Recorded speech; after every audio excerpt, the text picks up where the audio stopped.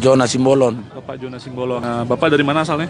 Asalnya dari Sumatera Utara, Dari Sumatera Utara. Kalau di Wamena tinggal di? di Sinakma, Sinakma. Wamena. Wamena ya. Saudara-saudara kita terbakar itu adalah dari suku Sumatera Utara.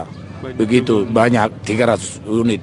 Jadi tolong bagi permintaan kami dari pemerintah Sumatera Utara tolong perhatiannya kepada kami supaya kami dipulangkan.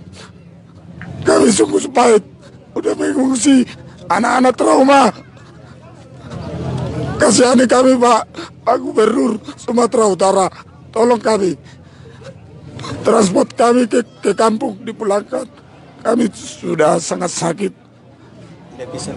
Dan tidak bisa berusaha lagi. Sudah dibakar semua. Berarti kalau harta benda. semua sekarang sudah. tinggal pakaian. Tinggal pakaian